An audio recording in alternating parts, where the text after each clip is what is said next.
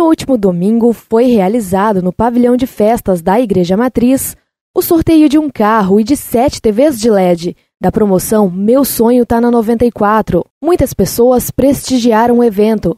Para o diretor da emissora, a promoção significa uma forma de presentear o ouvinte e comemorar os oito anos de existência da rádio. Para mim é muito gratificante fazer uma promoção desse, desse porte, movimentar o comércio no, comer, no começo do ano, fazer, fazer uma família feliz, porque é a realização de um sonho um carro desse aqui. O locutor Cortez, que conhece bem a trajetória da emissora, se sentiu feliz com o resultado da promoção, com o sorteio de grandes prêmios. Eu tenho certeza que será muito feliz a pessoa que, que ganhou esse carro, foi lá no Bom Jardim, a Salete, que seja feliz com esse automóvel. A ganhadora do carro disse que assim que recebeu a ligação, informando que ela teria sido a felizarda em ser a dona do carro, a emoção foi muito grande. É uma felicidade muito grande, eu não estava presente, aí eles me ligou, né?